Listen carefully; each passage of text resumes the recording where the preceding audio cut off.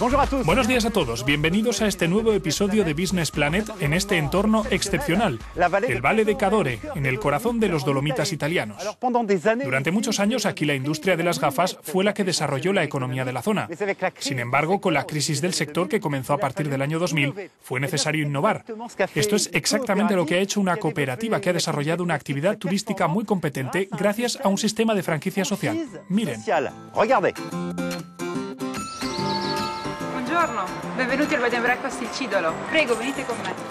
Elena forma parte de los 160 miembros de la cooperativa del Valle di Cadore. Se trata de una cooperativa que ha desarrollado considerablemente la oferta ecoturística desde 2011 con apartamentos, restaurantes, museos y actividades deportivas. Necesitábamos crear empleos, por eso teníamos que establecer una estrategia, poner en práctica una red que nos permitiera, a través de un proyecto de turismo social, posicionarnos en el mercado internacional.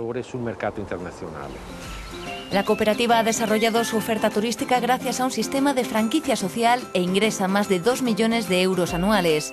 Y el Valle de se encuentra ya en los catálogos de los operadores turísticos europeos.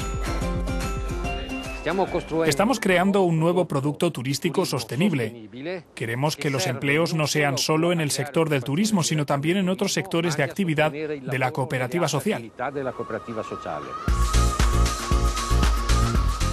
La economía social representa en la actualidad un 10% del PIB europeo, un 6% del empleo, y la tendencia es al alza. De ahí el interés de entender mejor cómo funciona este sistema de franquicia social.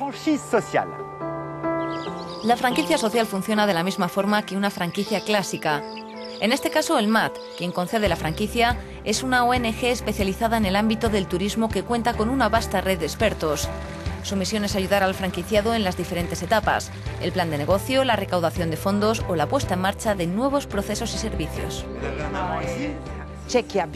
Hay algunos que necesitan un arquitecto, otros que les lleven la comunicación o les hagan una página web, otros que formen a su equipo.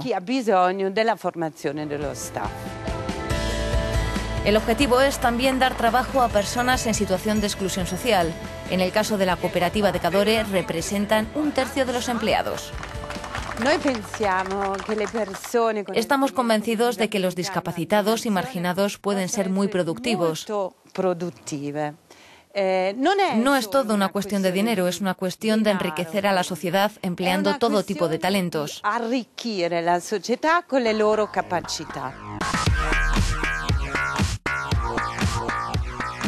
Para mí las claves del éxito son estar en armonía con la tierra en la que vives, construir una identidad fuerte a través del trabajo y transmitir esto a todo el mundo.